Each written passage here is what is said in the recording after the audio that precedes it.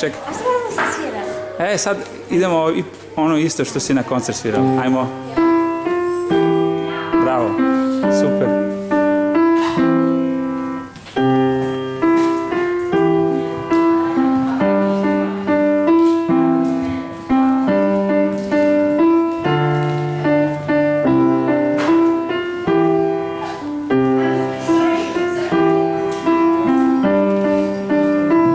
Super, bravo Aleksandra. Evo vidite moju čerku kako ona svira. a, Kevo, šta kažeš? Super, super. Jel pobedila ovu decu, a? A? Ajmo, čekaj. Bila si najbolja. Bila najbolja. Ti još dvoje. Jel Ajde. vidiš? Ajmo. To je to, koncert je završen. Vraćamo se nazad. Sandra je pobedila.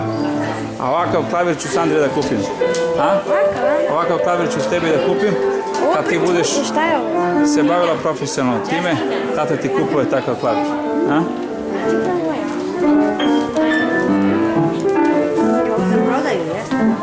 Probaj, ajde Jingle Bell. Kako ide Jingle Bell tu? Neće prestati. Ne, ne, sad Jingle Bell. Ajde, idemo, otišli smo. Moramo da idemo. Prijatno doviđenja, laku noć.